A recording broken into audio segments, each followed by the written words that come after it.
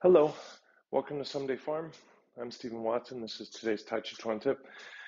Today's tip is to consider, consider the Tai Chi Tu, the yin yang, the, the separation of um, root intention that we tend to take into our Tai Chi Chuan.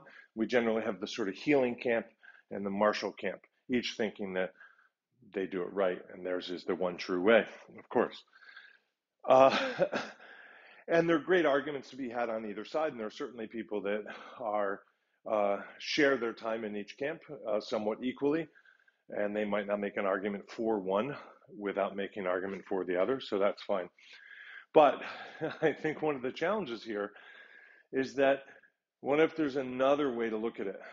What if it's not a choice between two or a choice among two? What if there's a third, fourth, fifth, sixth root way. I have a couple ideas of other sort of root pillars, other um, root um, intentions that can serve to uh, drive the art, drive your practice in the art, drive your understanding in the art. Uh, but I don't think it's my job here to tell you because uh, that's personal. I, don't mean it's private, like uh, it's a secret. I just mean it came to me through my own practice um, it wasn't passed on, it wasn't something I read, but it's something I realized, oh, this is another supportive pillar that could support the whole art in the way that an understanding of martial or an understanding of healing could.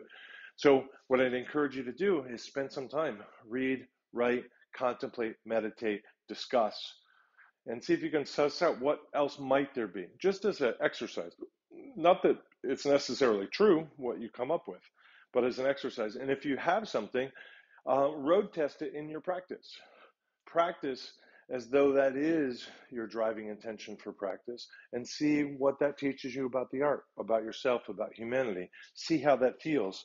See what you learn. See what you might teach from that.